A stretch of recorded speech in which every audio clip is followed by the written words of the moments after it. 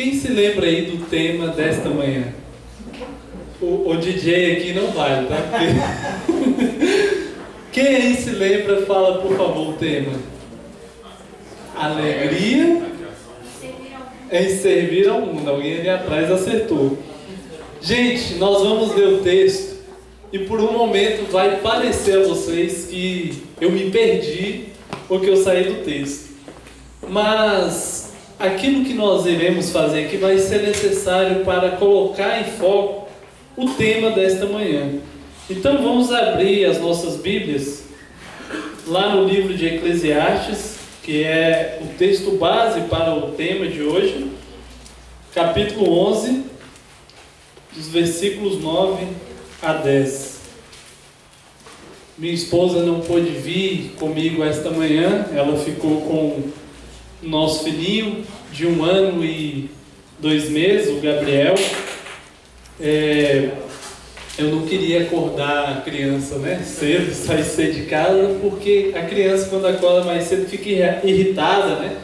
Eles acabam não tendo um bom dia. Então, é, minha esposa ficou com ele em casa, mas estamos aqui pela graça de Deus. Eclesiastes, capítulo 11, nos versículos 9 a 10, diz assim a palavra do Senhor. Jovem, alegra-te na tua mocidade. Ser feliz o teu coração nos dias da tua juventude. Segue os caminhos que o teu coração indicar e todos os desejos dos teus olhos. Saibas, contudo, que tudo quanto fizeres passará pelo julgamento de Deus. Sendo assim, afasta do teu coração o desgosto e a ansiedade, e pare de fazer o teu corpo sofrer, pois a juventude e o vigor da mocidade passam muito rápido. Que aqui tem uma versão diferente para o versículo 10. Quem poderia ler? Alguém, por gentileza. Afasta, pois, do teu coração o desgosto e remove da tua carne a dor, porque a juventude e a primavera da vida são vaidade. São vaidade. Aqui nessa versão, que é a versão King James atualizada, diz passam muito rápido. E em algumas versões diz que a juventude e a mocidade são vaidades. Esta palavra vaidade, este termo vaidade, é um dos termos chaves para compreender o livro de Eclesiastes. E nós vamos gastar um pouco de tempo aqui entendendo o uso que Eclesiastes faz deste termo para contextualizar então aquilo que ele diz aqui nestes versículos para que o jovem tenha alegria. Então nós precisamos compreender a estrutura do livro para que possamos então falar sobre a alegria e não somente a alegria, a alegria em prestar um serviço, em sermos servos, em trabalharmos em prol do reino de Deus. Este termo vaidade, ele no, no hebraico é a, o termo aqui é revel, e ele aparece 37 vezes no livro de Eclesiastes. E para quem não sabe, as línguas semíticas, ao mesmo tempo em que elas funcionam como alfabeto, elas também cumprem uma função numérica. O hebraico sendo uma língua semítica, ele também tem essa função numérica. E é interessante que a soma desta, desta palavra no hebraico, ela é 37. Então este tema aparece 37 vezes no livro de Eclesiastes e também a sua soma dá 37. Isso não é coincidência. Isso é proposital. O autor de Eclesiastes é claro, inspirado pelo Espírito Santo, ele usa isso de maneira proposital. Agora, o autor vai dizer que tudo é vaidade. Abra comigo aí mesmo em Eclesiastes, no capítulo 1. Nós vamos ler o versículo 2,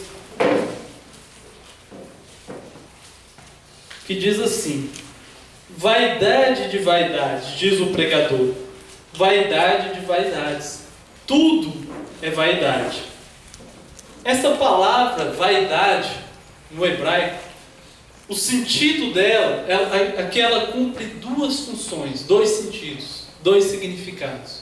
O primeiro significado tem a ver com algo que é passageiro, é como se fosse um sopro, é algo fugidio, é algo que não tem durabilidade. Isso é vaidade.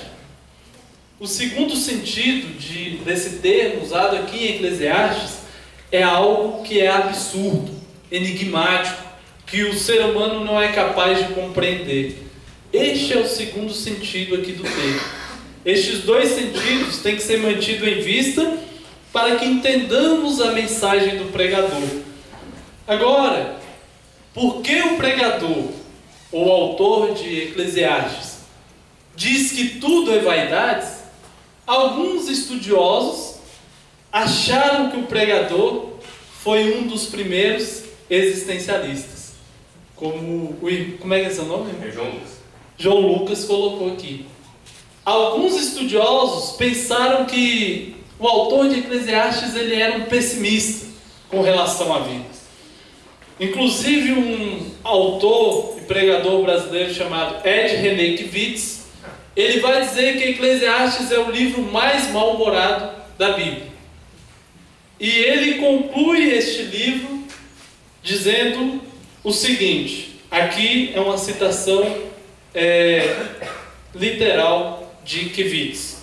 Diante da perplexidade que a vida impõe, é tolice fazer afirmações categóricas e enunciar respostas contundentes. Agora observe que o Kivitz aqui ele foi bastante incoerente, porque ele faz ao mesmo tempo uma afirmação categórica, é tolice, e ele dá uma resposta contundente diante das perplexidades da vida, não podemos fazer isso. Ele está fazendo aquilo que ele proíbe fazermos. Então, nós não seguiremos aqui esse entendimento de que Eclesiastes é, por assim dizer, o pai do existencialismo.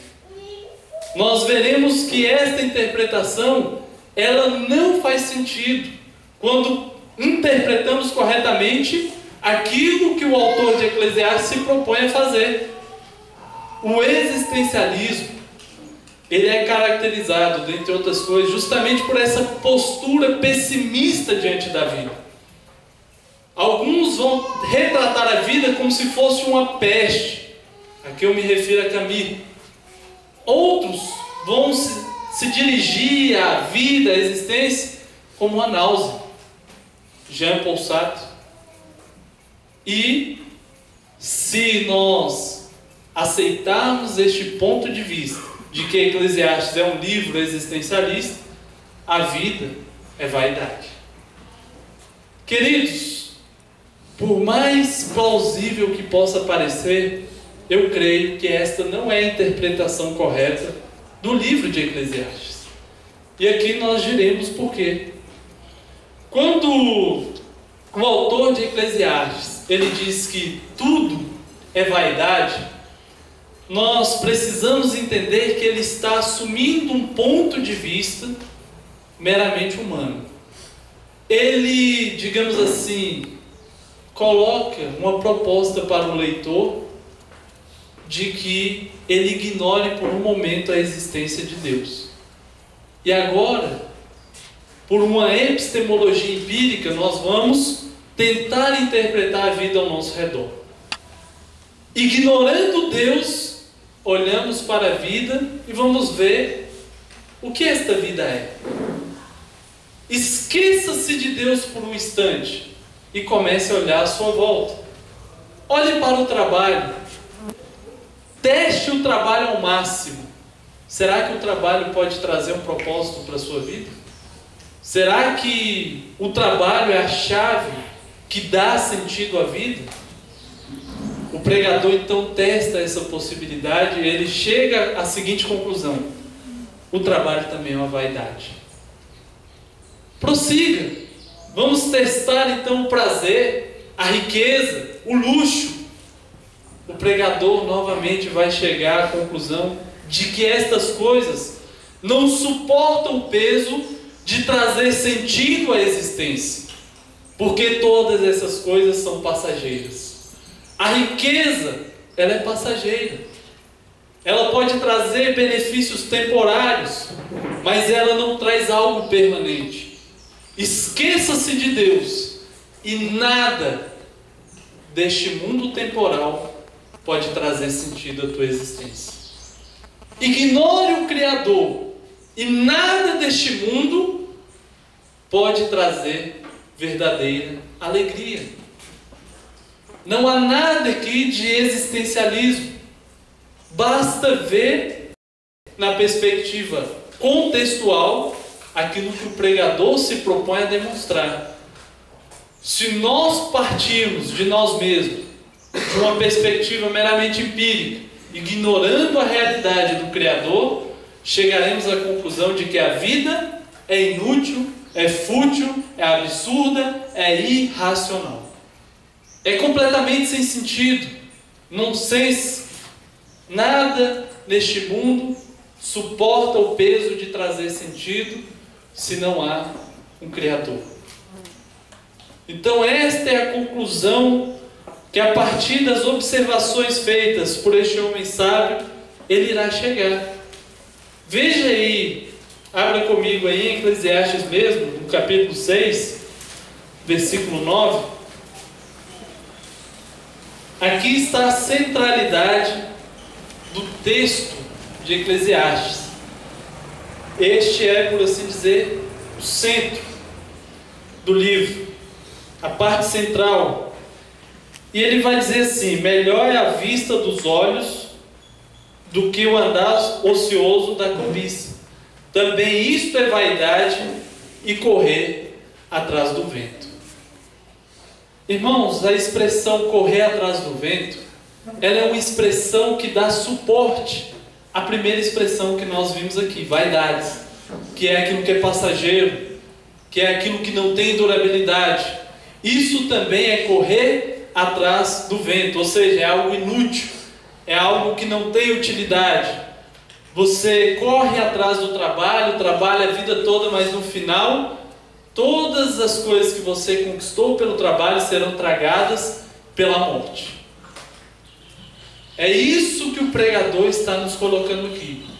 De um ponto de vista meramente materialista, todas as coisas serão tragadas pela morte. Não há lugar aqui aonde os bons serão recompensados e os injustos pagarão pelos seus erros. Óbvio, do ponto de vista materialista.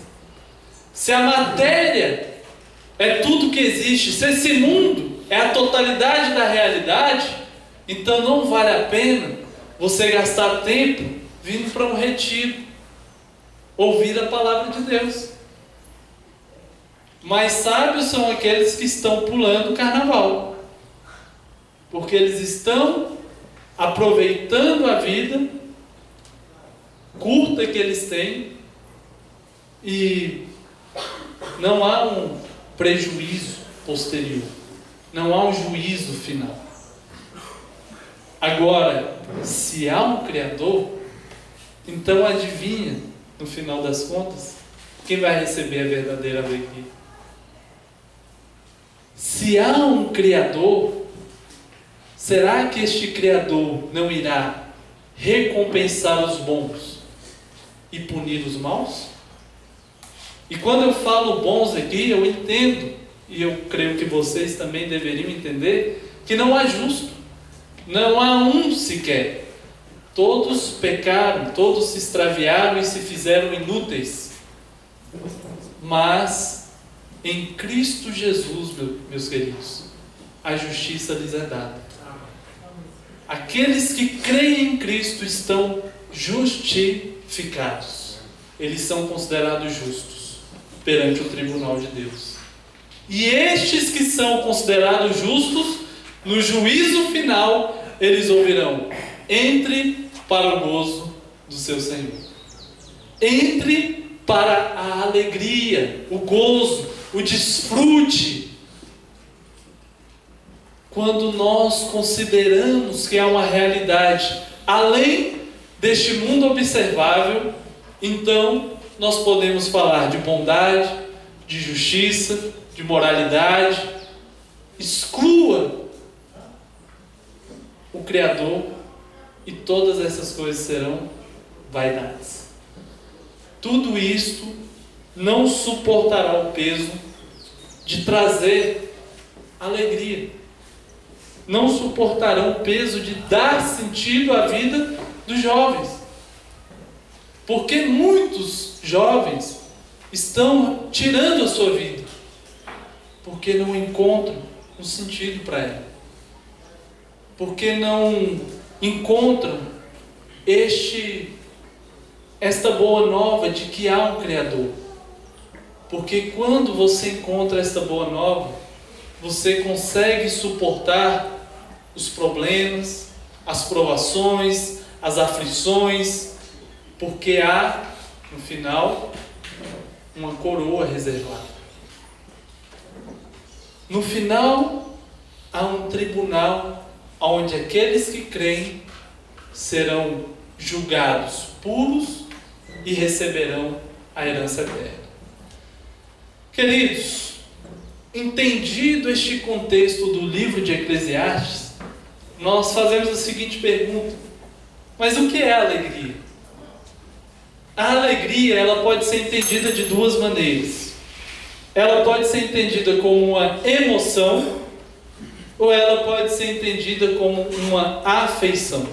E eu vou explicar aqui a distinção entre ambas. A palavra afeição, ela perdeu o uso no nosso vocabulário. Ela não é mais corrente. Mas, há cerca de dois séculos atrás, ela era uma palavra que era muito usada. Ela era dominante. Não havia ainda esse termo, emoção. Ele é um termo recente. Ele adentrou no nosso vocabulário por meio da psicologia. Então, o que são as emoções? As emoções podem ser definidas como uma mudança involuntária que é resultado da afetação do ser por alguma coisa externa. Eu vou repetir. Uma emoção, ela pode ser definida então como uma mudança involuntária, ou seja, você não quer mudar, mas é uma mudança involuntária. E ela ocorre em virtude de quê? De você ter sido afetado por alguma coisa externa. Veja, por exemplo, aqueles que estão pulando o carnaval.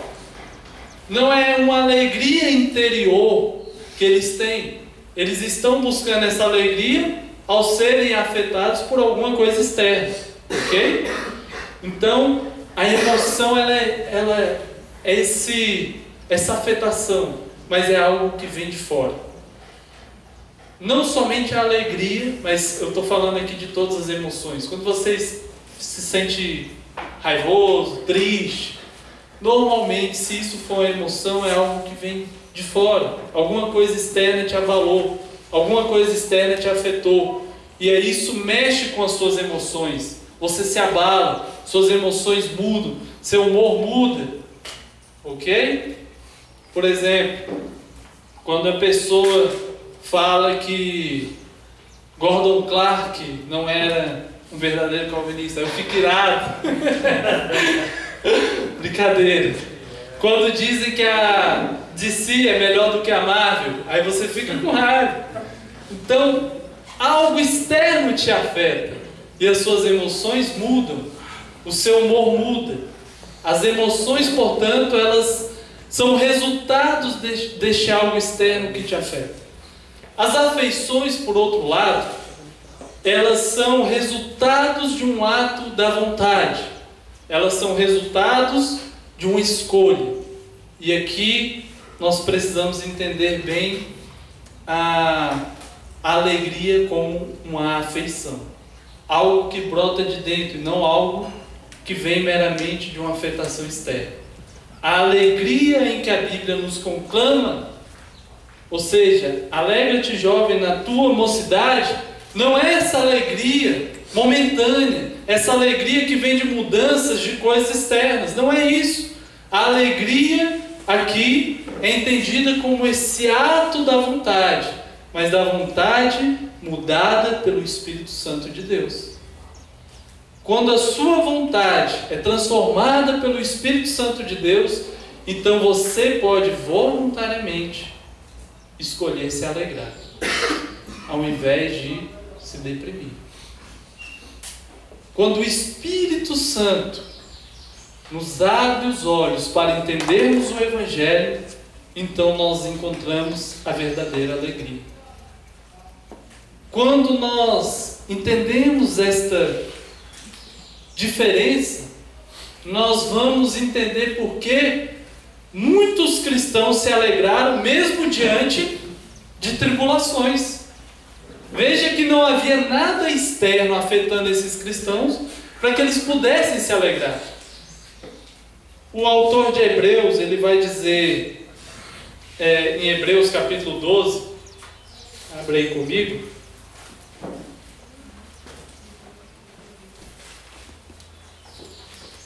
Hebreus 12, versículo 2 diz assim: Vou ler o versículo 1 também, e aí a gente comenta o versículo 2. Diz assim o versículo 1, Hebreus 12: Portanto, também nós, visto que temos a rodear-nos tão grande nuvem de testemunhas, desembaraçando-nos de todo o peso e do pecado que tenazmente nos assedia, corramos com perseverança a carreira que nos está proposta, olhando firmemente para o Autor e consumador da fé, Jesus, o qual, em troca da alegria que lhe estava proposta, suportou a cruz, não fazendo caso da ignomínia, e está sentado à destra do trono de Deus. Veja, porque a alegria é este algo que brota de dentro, a verdadeira alegria, Jesus suportou a cruz em, pro, em troca da alegria que lhe estava proposta. Veja que, mesmo fisicamente ele estando em um caso de sofrimento, de dor, em um caso extremo de dor, em um caso não apenas de dor física, mas também de dor psicológica, porque Cristo sentiu na cruz o abandono de seu próprio Pai. Deus meu, Deus meu, por que me abandonaste? Era um um caso de extrema angústia. A angústia de Cristo foi tão grande que ele chegou a suar gotas de sangue. Mas, por que ele suportou tamanha dor? Pela alegria que lhe estava proposta. Amém. Queridos, quando você entende isso, é algo libertador. Porque você vai começar a perceber que você enfrenta muitas tribulações na vida. E você enfrenta muitas provações, muitos momentos de dores, momentos que você talvez perca, às vezes até a esperança. Mas você sabe que há uma alegria que está proposta a você por meio de Jesus Cristo. E é isso que te faz suportar as tribulações. É isso que te faz se alegrar no Senhor, mesmo diante da aprovação. Por causa da alegria que lhe estava proposta, então Jesus suportou a dor. Lá em 1 João, eu lerei aqui, se os amados quiserem anotar, para a gente ganhar um pouco de tempo. João vai dizer assim: Não ameis o mundo, nem o que no mundo há. Se alguém ama o mundo, o amor do Pai não está nele. Porque tudo que é no mundo, a concupiscência da carne, a concupiscência dos olhos e a soberba da vida não é do Pai, mas do mundo. E o mundo passa, e sua concupiscência, mas aquele que faz a vontade de Deus permanece para sempre. Queridos, o mundo é passageiro. O mundo não é algo durável. O mundo esquecendo-se do Criador, é vaidade. Quando você ama o mundo porque pensa que ele está te trazendo alegria, esta alegria passa, porque o mundo passa. As suas concupiscências passam. Tudo isso é passageiro, fugidio. Tudo isso é vaidade. Mas quando você mantém o Criador sempre diante de si, então você vai temer a Deus. E aí você vai poder desfrutar do mundo mediante o temor de Deus. Esta é a verdadeira alegria.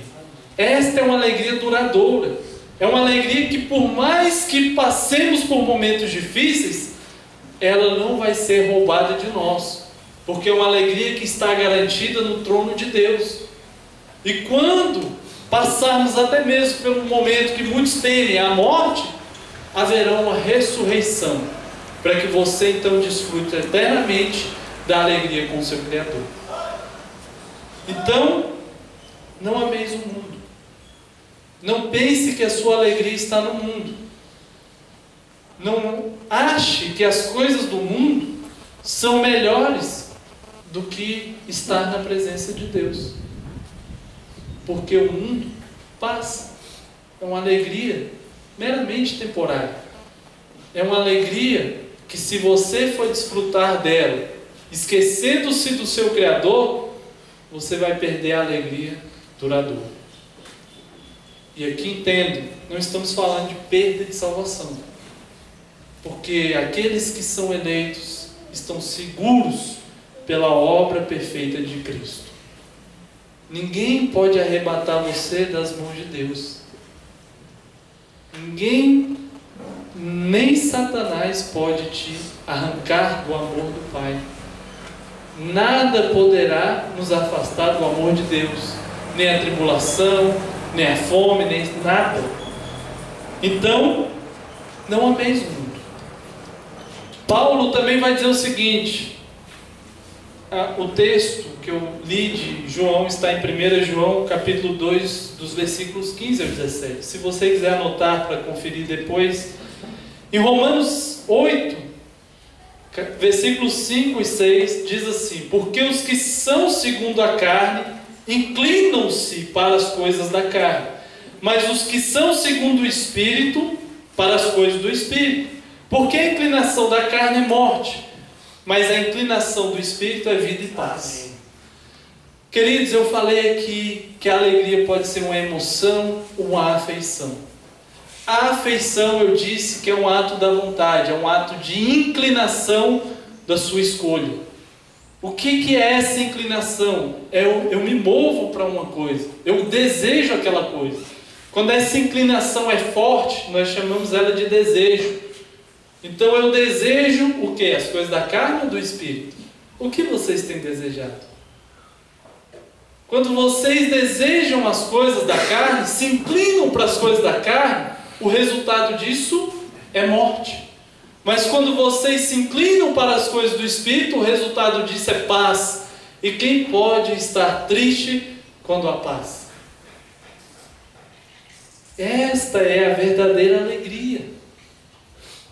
Essa inclinação da vontade é o que nos faz aprovar certas coisas e desaprovar outras. Quando aprovamos uma coisa é porque gostamos dela. Quando desaprovamos, é porque desgostamos. Por exemplo, muita gente não gosta de azeitona. Aí desaprova. Não. Ah, uva passa. Passa uva passa. Uva passa. E aí, coloca ou não coloca no, arroz? Coloca. Tem que colocar. Então veja que quando você gosta de uma coisa, você se inclina para ela. Tem que ter uva passa. Sem uva passa não tem Natal. Então. Porque passa, né? Boa, boa. É, o irmão venceu. Tenho que reconhecer. Então, quando você aprova determinadas coisas, você tem prazer naquelas coisas. E quando este prazer é grande, isso nós chamamos de alegria. Quando você desaprova a uva passa, isso gera um desprazer. Quando o desprazer é grande, nós chamamos de tristeza, de pesar. Ok? Então, e isso eu estou falando das afeições. Queridos, Essas definições que eu estou fornecendo a vocês está fundamentada em um autor cristão chamado Jonathan Edwards. Só para citar a fonte, para que vocês também, se tiverem interesse, possam pesquisar depois.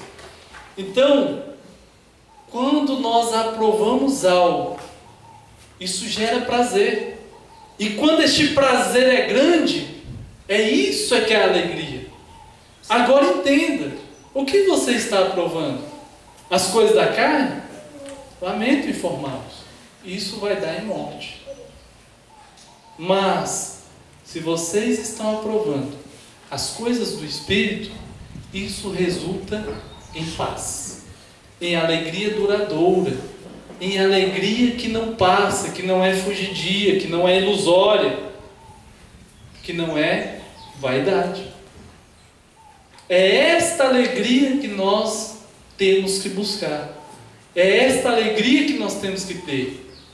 Os que são do Espírito inclinam-se, aprovam, têm prazer nas coisas do Espírito. Mas os que são da carne, eles vão buscar o seu prazer no mundo, nas coisas que há no mundo. Não ameis o mundo. O mundo é passageiro. São coisas fugidias, são pura vaidade. Nada disso suporta o peso de trazer sentido para a tua vida. E eu quero que vocês saiam daqui entendendo isso. Todos aqui devem conhecer a primeira pergunta do Catecismo Maior, embora poucos conheçam a segunda.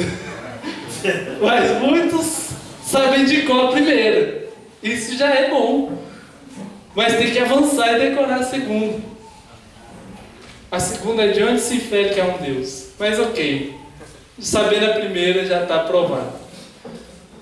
Qual é o fim principal do homem? Agora vocês me respondam. Eu quero ouvir o coro uníssono para ficar bonito. Qual é o fim principal do homem? Glorificar a Deus ao Que, que bonito isso, gente. Isso é lindo. Isso é o que nós temos que fazer. Glorificar a Deus tem que ser o teu propósito.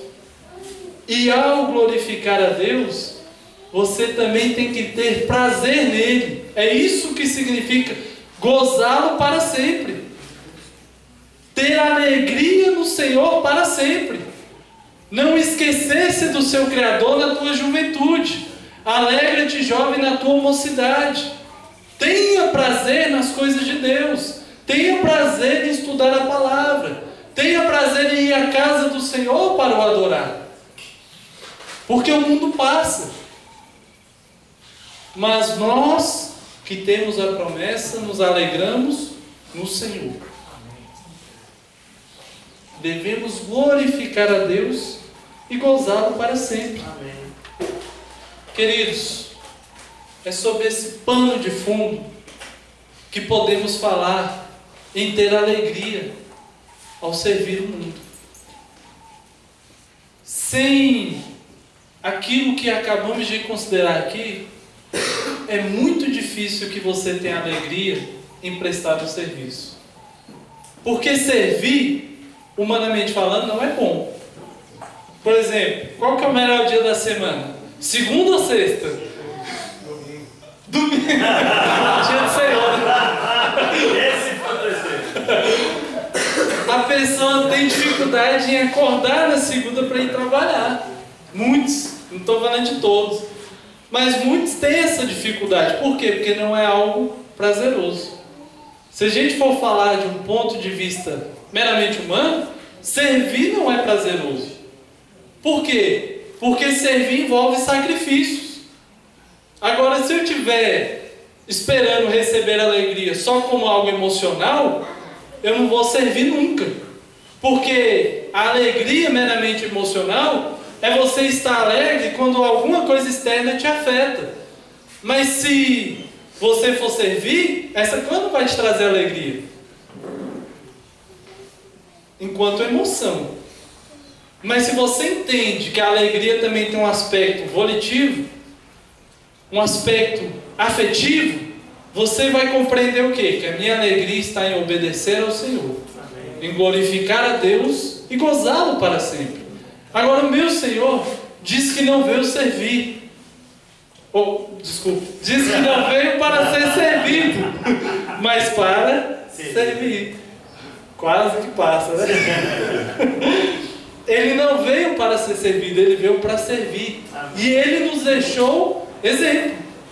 Quando ele lavou os pés dos discípulos, inclusive o de Judas, o traidor, ele disse para os seus discípulos: façam o mesmo. Agora façam o mesmo ali, entenda. Não é para ficar lavando o chuleque de seus irmãos, é para você servi-los. A ideia de lavar pés na cultura judaica é a ideia de se colocar no lugar do escravo. Agora pense no ambiente cultural da Palestina.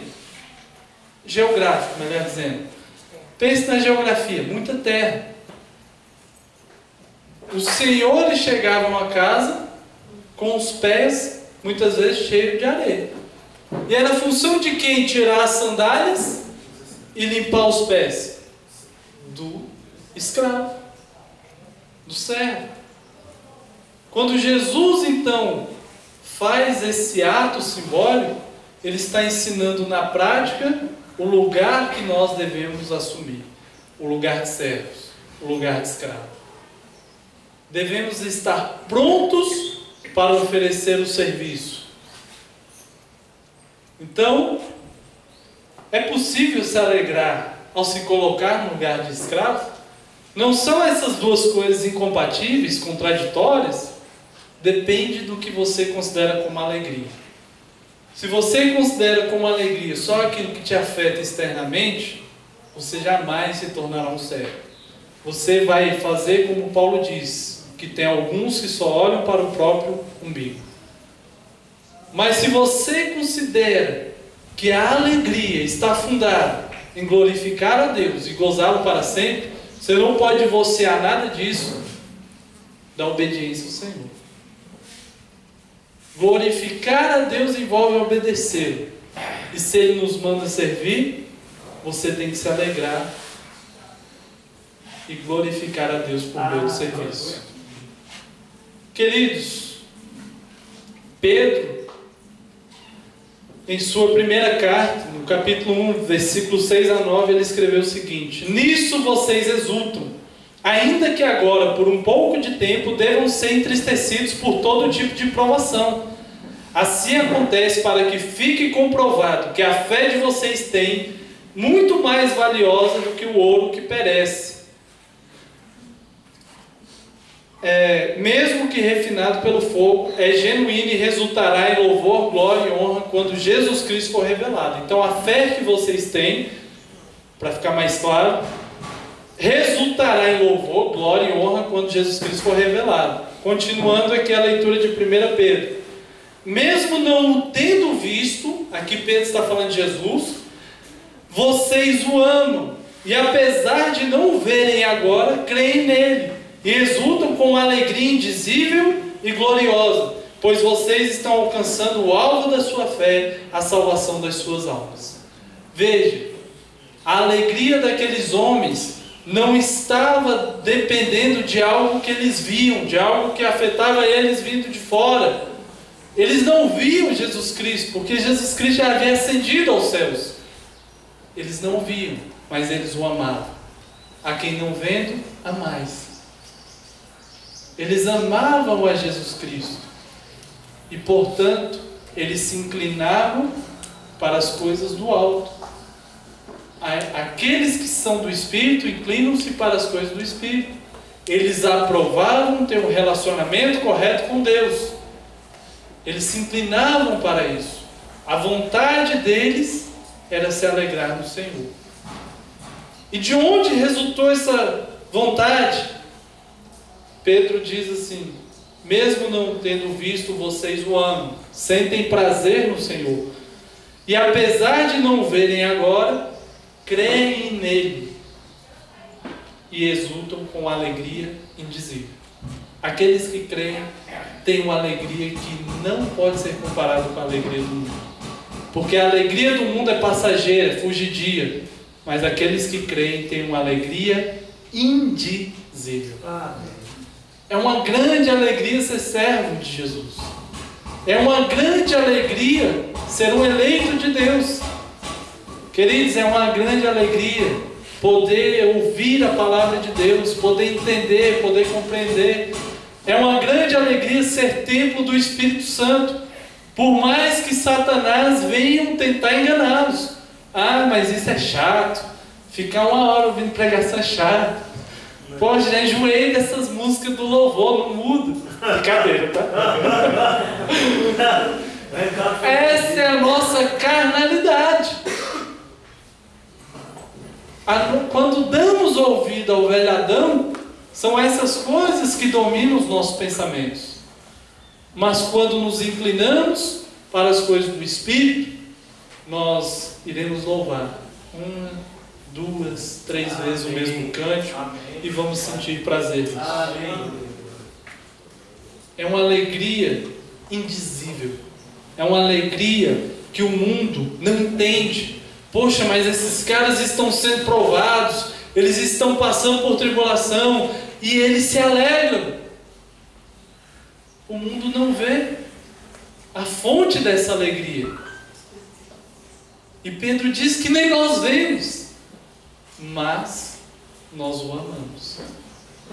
Mesmo sem vê-lo, nós o amamos. Nós sentimos prazer nele. Nós nos alegramos no Senhor. Então, eu consigo passar por momentos difíceis que, olhando externamente, não são prazerosos.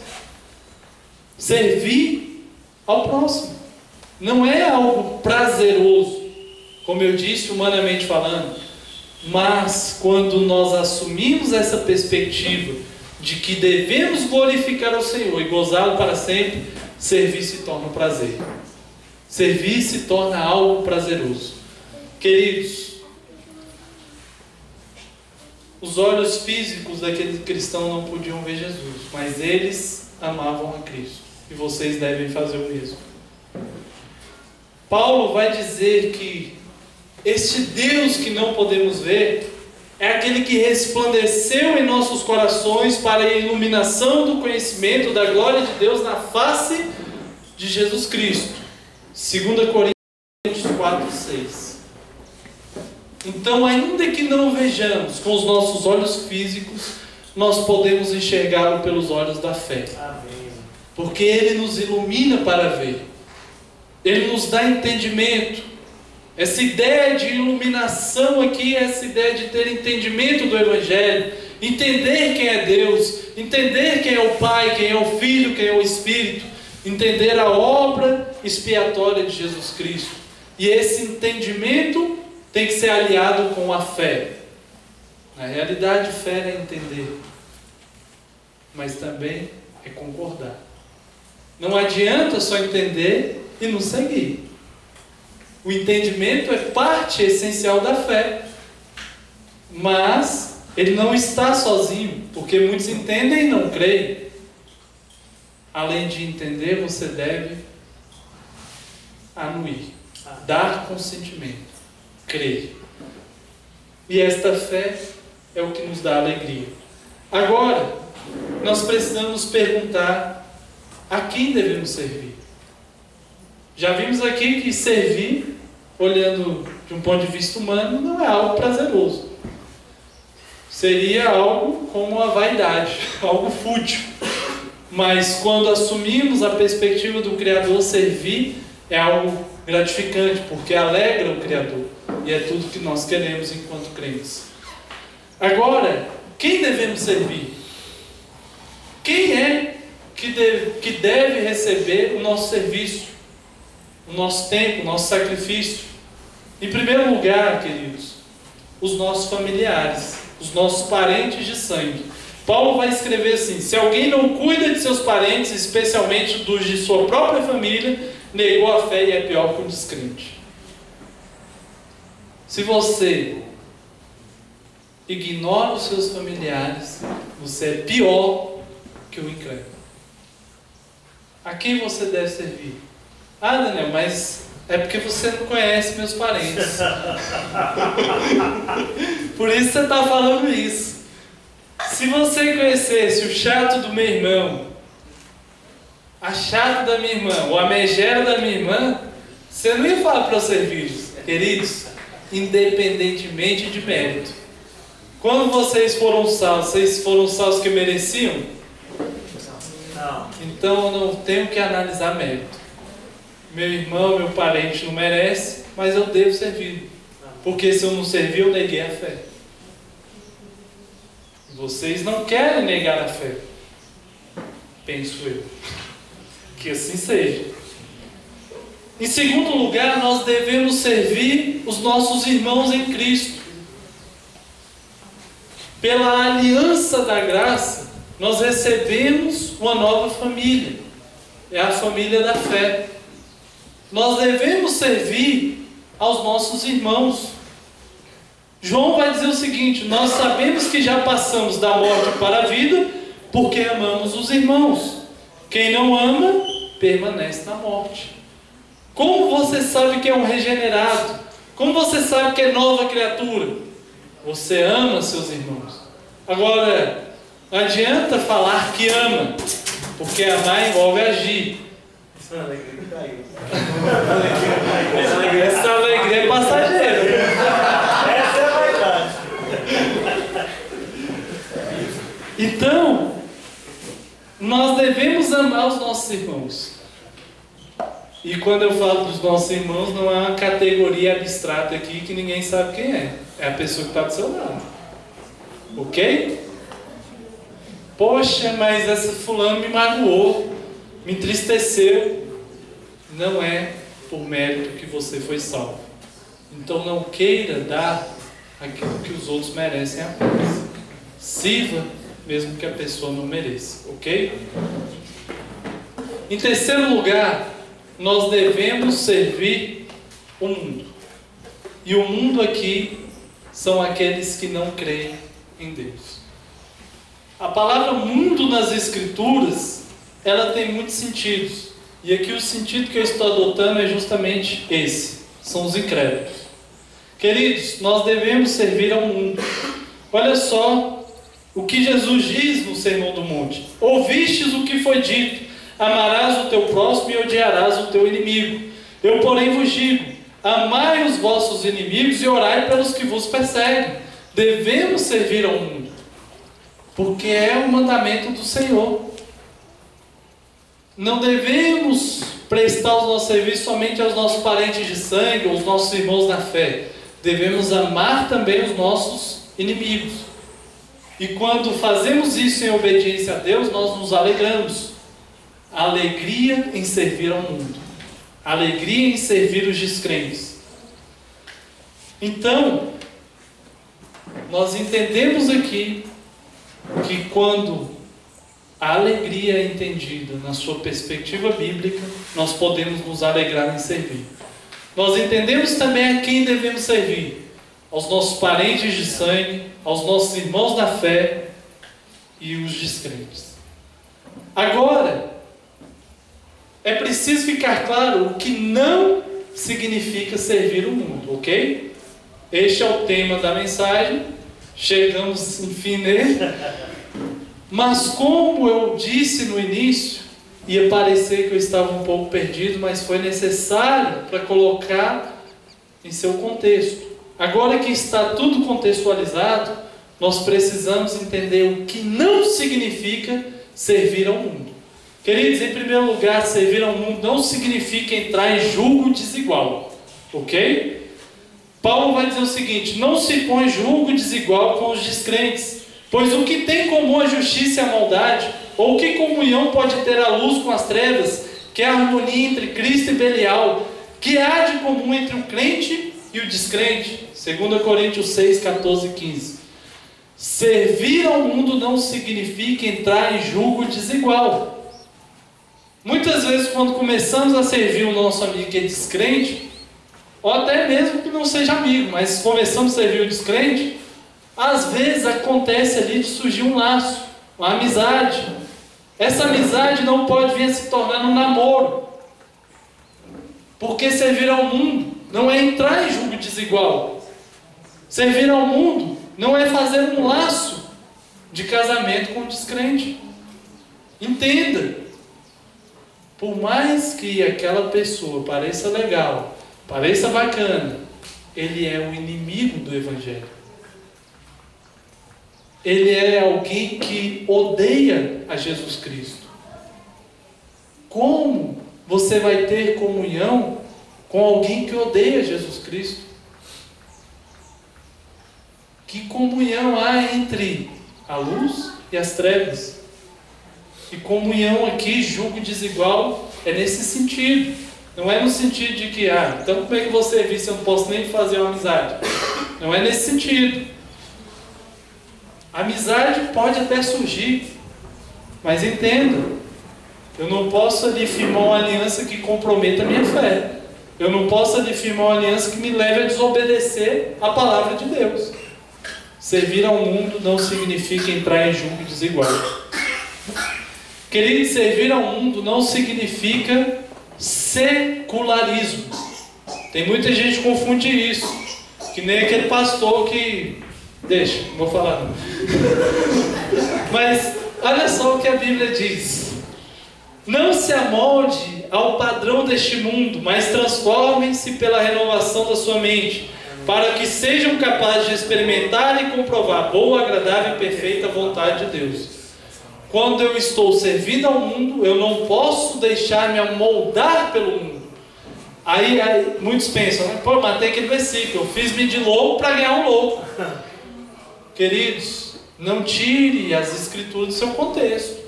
Ali não significa para você se amoldar ao mundo. Ali Paulo está dizendo que ele se adaptou, em alguns casos em que não comprometiu o evangelho, para pregar aos judeus e aos gentios. Ele não falou assim, poxa, eu fiquei parecido com um mundano para ir lá pregar para um mundano. Ele não falou isso. Poxa, eu tenho aqui que ficar né, igual um incrédulo aqui e tal, para eu ganhar um incrédulo. Não, não tem nada a ver isso. Eu tenho que encher a cara de cachaça para eu. Poxa, aí você distorceu a Bíblia. Não dá.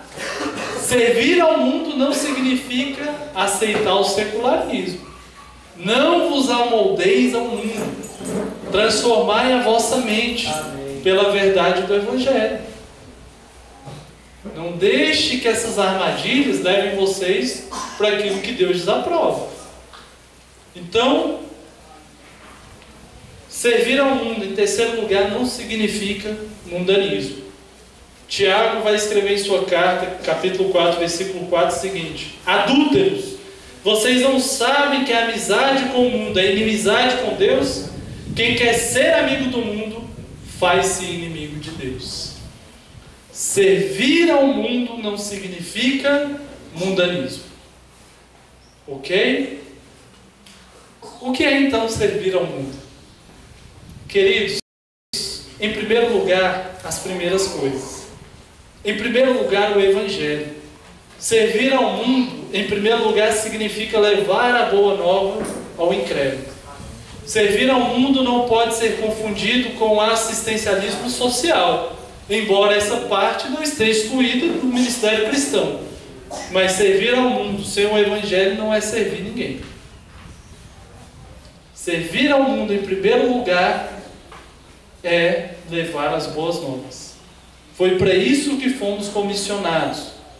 A igreja não foi comissionada simplesmente a prestar assistência ao pobre, ao carente. Embora eu não estou dizendo aqui que isso não faça parte. Mas se for só isso, perdeu o foco. Então, servir ao mundo, em primeiro lugar, é apresentar as boas novas àqueles que não conhecem a Cristo. João Calvino, nas Institutas, no volume 1, ele vai dizer que há vários tipos de conhecimento. E esses conhecimentos estão dispostos em níveis. Há conhecimentos de níveis secundários e há conhecimentos de níveis mais elevados. Para João Calvino, o conhecimento mais elevado que um ser humano alcança não é física quântica, não é matemática, álgebra, não é literatura, não é dialética. O mais elevado conhecimento que o ser humano pode ter é o conhecimento de Deus. Quando você serve ao mundo, você tem que apresentar Deus a essa pessoa. Não podemos nos envergonhar do Evangelho de Cristo. Paulo diz isso em Romanos 1, 16 ou 17, não me lembro bem. Não me envergonho do Evangelho de Cristo.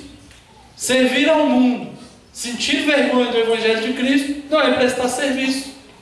Não serviço cristão. O maior elevado, o mais elevado conhecimento que essa pessoa pode ter é o conhecimento de Deus e de Jesus Cristo, o Salvador. Isso não significa desprezar matemática, ok? A ciência não significa isso. Mas o conhecimento de Deus é primordial. Ele é o mais elevado. É a coisa mais importante na vida. É conhecer a Deus. A palavra de Deus diz que o temor do Senhor é o princípio da sabedoria. Você teme a Deus? Você tem entrado em julgo desigual? Você tem adotado uma espécie de mundanismo? Tem flertado com filosofias mundanas? Tem abraçado uma espécie de humanismo cristão?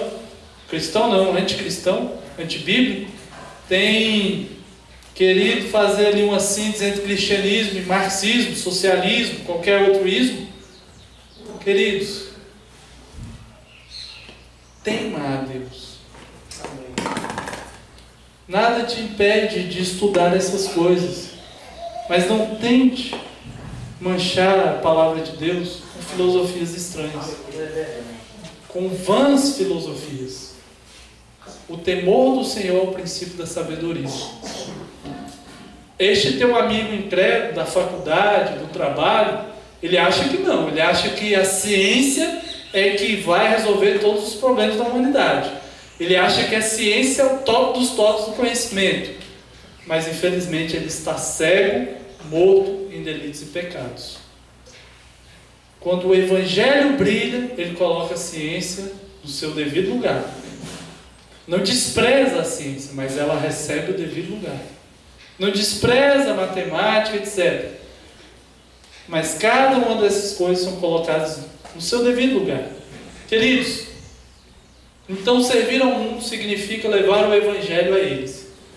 Mas, em segundo lugar, essa é a prioridade, mas há outras coisas que não podem ser negligenciadas.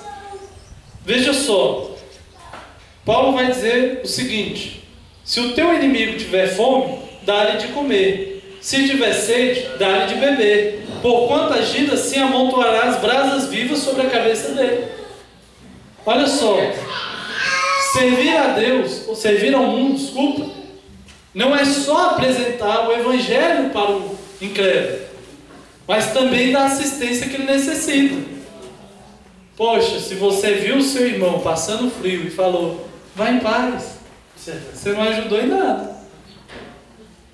Você não prestou um serviço ao mundo.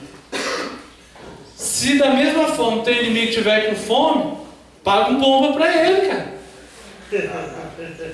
Isso é servir ao mundo também. Arruma uma jaqueta para o cara, um cobertor. Isso é servir ao mundo. Se o teu inimigo tiver fome, tiver sede, haja, filho. Queridos, eu vou encerrar esta pregação lendo a parábola do samaritano. Eu gostaria que vocês abrissem comigo em Lucas, no capítulo 10.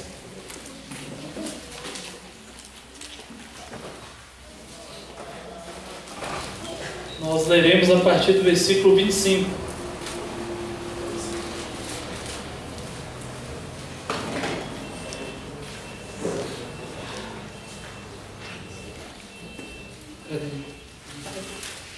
Pensei que tinha anotado errado, porque eu abri no versículo, no, no capítulo 9, foi olhar o versículo 25, hoje nada a ver.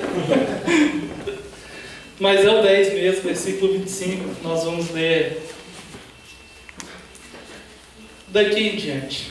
Diz assim a palavra de Deus: E eis que certo homem, intérprete da lei, se levantou com o intuito de pôr Jesus à prova e disse: Mestre, que farei para herdar a vida eterna? Então Jesus lhe perguntou: O que está escrito na lei? Como interpretas? A isto ele respondeu: Amarás o Senhor teu Deus de todo o teu coração, de toda a tua alma, de todas as tuas forças, de todo o teu entendimento, e amarás o teu próximo como a ti mesmo.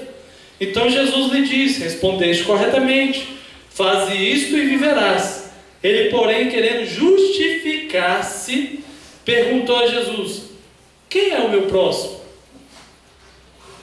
Jesus prosseguiu dizendo: Certo homem descia de Jerusalém para Jericó e veio a cair em mãos de salteadores, os quais, depois de tudo, depois de tudo lhe roubarem e lhe causarem muitos ferimentos, retiraram-se, deixando-o semi-morto.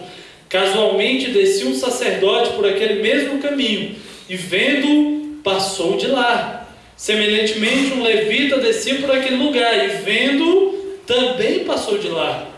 Certo samaritano que seguiu seu caminho, passou-lhe perto e, vendo-o, compadeceu-se dele.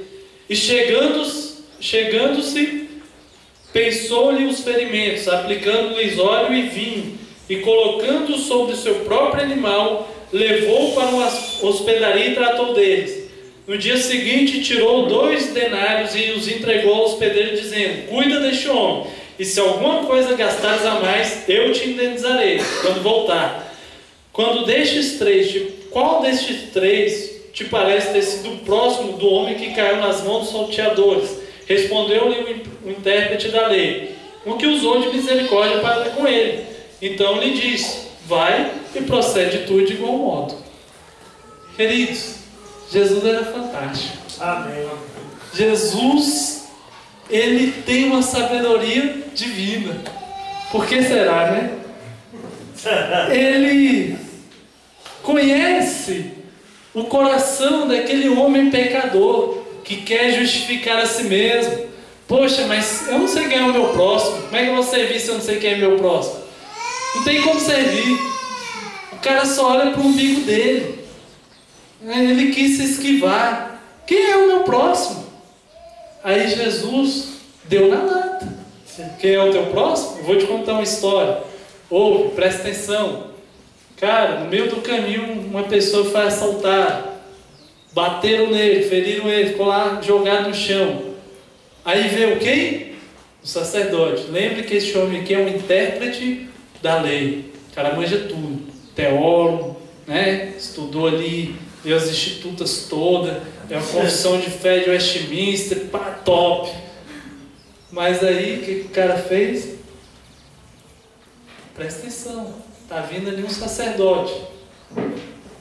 Será que o sacerdote vai socorrer o cara? Passou, foi direto. Hoje estou muito atarefado. Ó. Tem que estar tá lá na hora que o culto já vai começar. Não posso perder tempo aqui. Se eu chegar atrasado na IBD de novo, mudou até o horário para chegar na hora, mas chega. se liga, se liga na mensagem. Então, eu não tenho tempo, não tenho como parar para ajudar esse cara aí. Mas eu sei que tem um Estado que vai passar por aqui fazendo a ronda e o Estado cuida dele. Ok? Passou um levita também. Cara, é a segunda vez que me atraso para o louvor.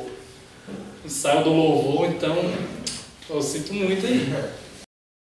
Tomara que o SUS passe aqui. Então, Jesus, para provocar, ele diz que passa um samaritano.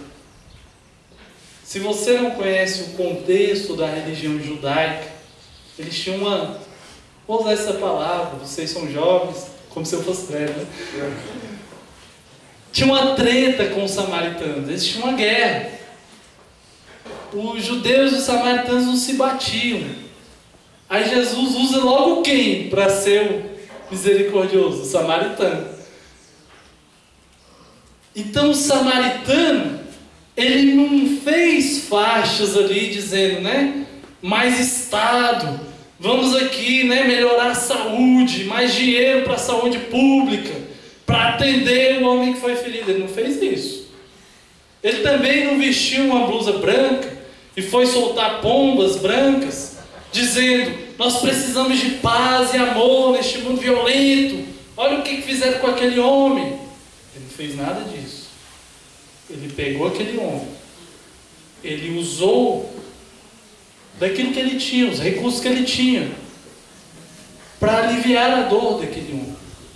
Ele colocou aquele homem no seu meio de transporte para levá-lo a um local de tratamento. Ele não ficou ali perturbado, poxa, esse médico aí podia, né, ajudar também o caso sem me cobrar nada. Ele não ficou ali tentando fazer com que as pessoas se sentissem ali misericordiosas e não cobrassem pelo serviço. Ele pagou o serviço do bolso dele. Querido, servir ao mundo com o dinheiro dos outros é fácil. Amar ao mundo com o dinheiro alheio é tranquilo. Agora, quando você tem que botar a mão no bolso para servir, aí você está seguindo o Evangelho. Amar o próximo é isso.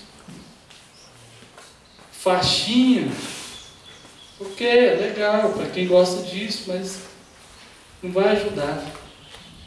O cara está precisando de você ali agora. Tua faixa ali é para que os outros se compadeçam mas você mesmo mostrou compaixão. Então, servir ao próximo exige sacrifício. Mas quando fazemos isso, sabendo que é para a glória de Deus, nós temos prazer em fazer isso. Nós nos alegramos em servir ao mundo. Não importa se aquele cara era samaritano, eu era judeu, não importa. O cara era vantiniano, eu era clarkiano. O que, que tem a ver? Vamos ajudar o próximo. Vamos estender a mão para o próximo. Se ele precisa, ajuda. Seria muito fácil eu pegar e ver esse cidadão e falar: Poxa, eu não posso não, porque eu não vou gastar gasolina no meu carro. Eu vou ligar aqui que a igreja lá tem uma Kombi, a igreja vem aqui e pega um carro. Entendeu? Não que a igreja não possa fazer isso, mas Será que você está disposto a servir ao mundo? Será que você entende que servir glorifica a Deus? Será que você vai sair daqui hoje o mesmo? Ou você vai deixar que a palavra de Deus transforme o seu pensamento? Não vos amoldeis ao mundo. Transformai-vos pela renovação da vossa mente. Não busque aquilo que é vaidade, passageiro, supérfluo. Deixe que a sua alegria esteja fundamentada no Deus Trino. Vamos nos colocar de pé e orar?